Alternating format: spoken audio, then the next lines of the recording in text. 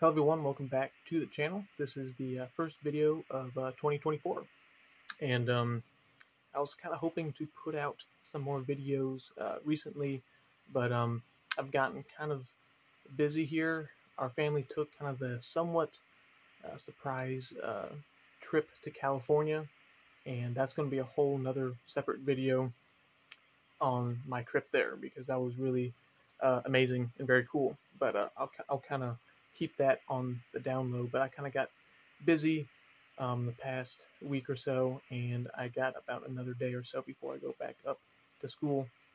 But um, I saw a, um, a vinyl thread um, type video throughout the YouTube, and especially kind of the, Be- the Beatles kind of YouTube uh, community, I guess uh, you can say. And that is the Beatles vinyl tag of uh, 2024. I think originally uh, started by Rachel's Ghost. Uh, I have not personally watched any of her uh, videos, but I saw videos from Matthew Street and uh, Mean Mr. Mayo, kind of uh, some other um, Beatles related channels that I've kind of followed, and I haven't really done any uh, vinyl tags. Uh, I don't, I don't believe so, um, because I really just kind of mainly uh, focus on the Beatles, so I don't really have a wide variety of um, of records to kind of do a normal vinyl tag, I guess you can say. But when I saw there was a Beatles version, I thought that would be pretty fun to do.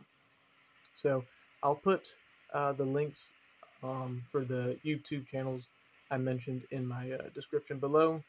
And I'll kind of start going through these uh, 10 questions here from the, uh, the, vinyl, the Beatles vinyl tag of 2024. So it's pretty much just kind of questions, ideas, thoughts, and I'm just going to be kind of answering and showing uh, items, records, vinyl primarily, uh, from these questions. So hopefully I can remember all the questions because I did not write it down. So we'll see how that goes. But um, I remember the first question is show um, what Beatles album you have the most of. And I pretty much knew right off the bat what that was, but it was actually pretty close. But the winner ended up being uh, Sgt. Pepper.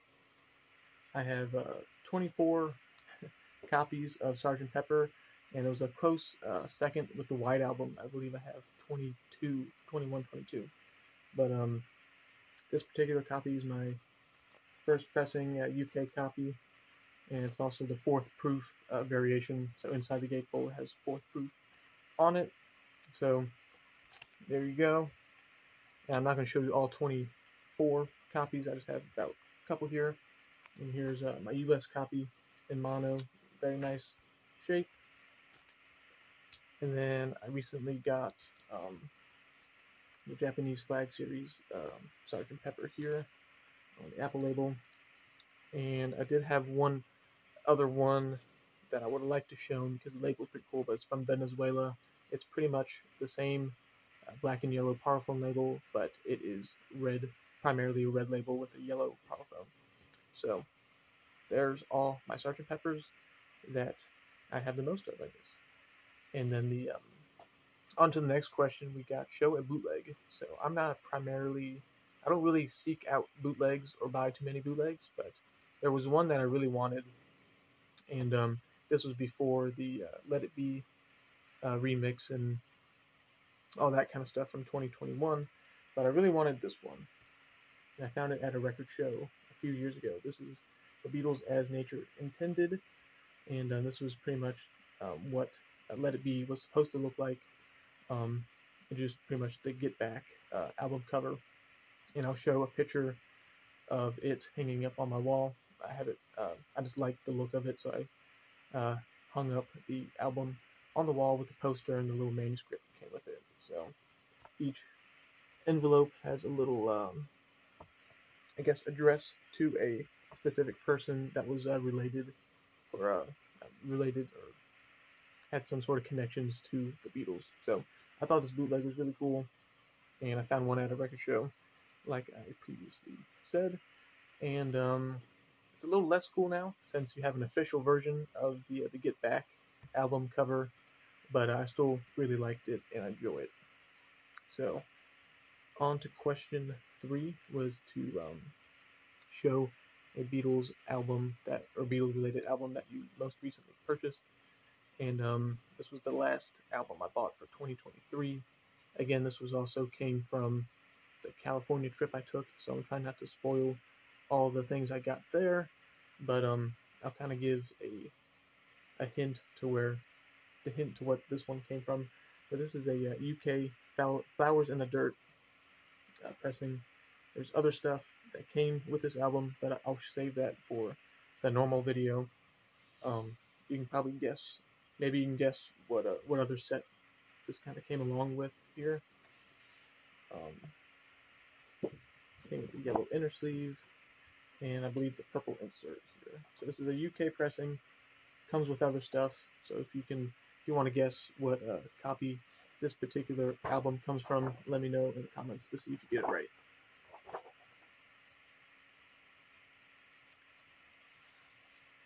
And here is the label. Real quick.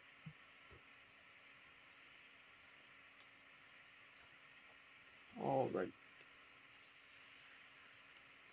Next one is show a um show your favorite solo Beatle show show an album from a favorite uh, from your favorite solo Beatle.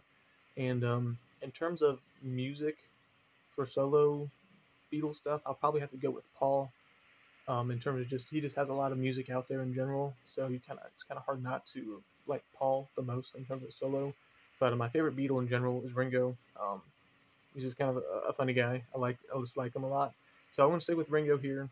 The only problem is there's not really too many different variations of uh, Ringo albums that are kind of like besides the standard stuff. But I try to do something a little bit different.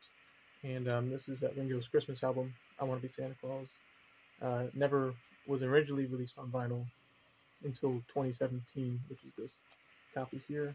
So that's what the uh, inner sleeve looks like there, and it's kind of still, you know, the Christmas ending of the Christmas season. So I kind of still had uh, this album on my mind there.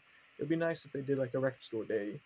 Um, I don't know, red, pink, green vinyl version or something. I think it would, it would do well for Black Friday. And I also kind of threw in a little bonus. I would also like to see Vertical Man have the Ringo Starr Record Store Day treatment with the bonus outtakes and LPs since this was never released on vinyl. Um, I think they, I think this would do well as a, a Record Store Day release as well. All right, trying to remember what question I'm on. Let's see, one, two, three, four. I think this is question five. I think we're still doing pretty well in remembering all the questions.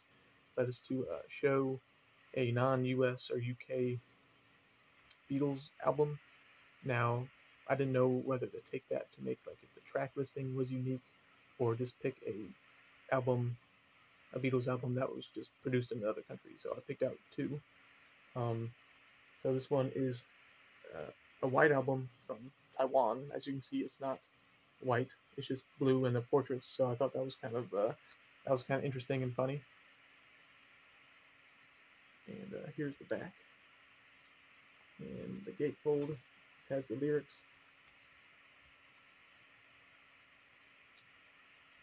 And this is what the label looks like. And then for that different track order listing, um, I pulled out this uh, pretty interesting one from Russia. It's called Taste of Honey from uh, 1990 or 86. And um, there's the label. And the track listing on this one, I believe, contains songs from like, Please Please Me, uh, Beatles for Sale, and then uh, With the Beatles. Um, so it has starts off with P.S. I Love You. Do you want to know secret? Taste of Honey. I saw her standing there. Then it goes into Baby's in Black. No reply. I'll follow the sun eight days a week. I don't want to spoil the part. I don't want to spoil the party. Rock and roll music. And then Please, Mr. Postman. It won't be long. Till there was you, little child, devil in heart and I Want to Be Your Man. So, uh, interesting uh, grouping of track listings there. And uh, this next question is right up my alley. Show a Beatles uh, single or EP. Um, if you watch my channel, I like to collect 45s uh, a lot, uh, especially picture sleeves from different countries. So you might have seen this picture before because I use this as my little icon for my channel and it is uh, the Beatles Get Back with that Don't Let Me Down. And this is like one of my favorite um, foreign picture sleeves out there. This one is from Italy, and um, yeah, the reason why I have it as my little logo because it's one of my favorite picture sleeves. I just really like the uh, the Yellow Submarine caricatures. Um, I just like the, the color, pop color on top, and then it's kind of like the, the gray scale on the bottom. I don't know. I just really, really like it. And that's what the back looks like. And of course, it's on the Apple label from Italy. So if you ever wondered where that little icon came from, came from this picture from 1969. Alrighty, next one is to pick a cover album, uh, a band or an artist um, that covered a that covered Beatles songs, I guess. And um, the one that kind of came to mind was this uh, Chet Atkins uh, cover the Beatles, and um, this one's in really good shape. I'm sure everyone's seen this one before, but this one is a little bit unique as let's see if we can get a glare. Yeah, you can see it kind of it's embedded or embossed or stamped stamped in. It's a promotional, not for sale, promotional use only uh, copy of this album. So I thought that was pretty cool. And um, of course, uh, hearing Beatles songs played on guitar by Chet Atkins is not bad either. Okay, so let's see. We got three more questions to go, and I believe there's a show, an album that a Beatle has guest guested on. And like I said, I don't have. I pretty much have classic rock albums besides Beatles stuff. I have like about three cubes or so in uh, my storage. Um, so I didn't really have too much to go off of. So I mean, I was kind of thinking of all the stuff Beatles um, have guest appeared, but I didn't have it on vinyl. So I was kind of like searching up on my phone just to try to see what was out there, see something I had. It's kind of cheating, but it was a cool story. I thought if you may or may not know about it, but um, so George was not on this album, but um, there's a song on this album called uh, "Tell the Truth," which was a single before this album was released, and George Harrison plays guitar on that single version, but they re-recorded it um, for this album without George. So I thought that was kind of an interesting story. Um, sorry, I couldn't really pick out a a better uh, album to show, but they pretty much recorded uh, the Derek and the Dominos first single, and George was on it. But once they released it, they withdrew it because they didn't like the recording; it was like too fast or something. Um, and then when they re-recorded it for the Layla album, they did it without George, and they just kind of did it on their own the rest of the songs. So that was an interesting story. I don't know if you know that or not. Um, I thought it was interesting. So uh, in the question nine, uh, I believe uh, we got to show a just a Beatles item in general. As you can see, I kind of got some stuff on my shelf. I got the Yellow Submarine Lego set, um, Beatles 45 carrying case. But uh, the thing I want to show you, I can't show you physically. I just have to pop a picture up on the screen.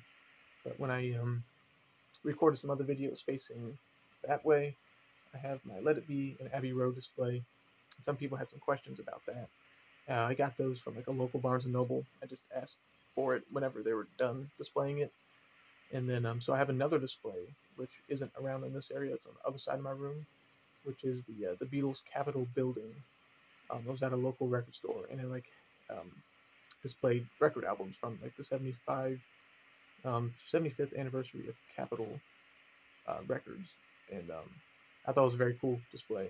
So I'll pop that on the screen sometime here, and I put some uh, Beatles uh, stuff in it as well. So hope you enjoy seeing that. And then the last question, I believe, was what was your favorite uh, uh Giles Martin uh, remix from the past uh, few years? Um, I will say the the Red album was not bad, but it's a little bit too new for me to call it my favorite. I only listened to it one time, so I can't really say that. But I say one album that really helped me kind of listen to Beatles uh, songs on the phone. It's definitely kind of uh, the White Album especially like Helter Skelter. Um, I can't listen to uh, my my records all the time, especially when I'm in college. I don't have any time or any place to um, listen to my records. So listening to uh, Beatles songs on my phone with earbuds or on the computer can sometimes be a little bit hard with all the you know the stereo separation and all that. But uh, the White Album seemed to kind of you know it seemed to be a little bit better for my earbuds uh, per se. So I enjoyed that a lot. So I believe I got all 10 questions done there. And this is my first vinyl tag. I'm glad it was Beatles related. And um, I'll have some more videos um, in the works uh, here as I go back to school for the start of the spring semester. So I hope you enjoyed everything I showed. And I forgot I was going to show you um, one more thing uh, for the Beatles item besides my Capitol record display. This also kind of goes along from the trip to California, but um, this is a promotional item uh, going for the, the Beatles' last song, Now and Then. Uh, if you can guess what this is, let me know in the comments. Uh, I'll let you know if you get it right in the next uh, video when I describe my trip to California. So I thought throw that in for fun. Let me know. And for though that one person who does know, you can't copy. That's cheating. So, um, yeah. Anyway, thanks for watching, and look out for more videos in the future.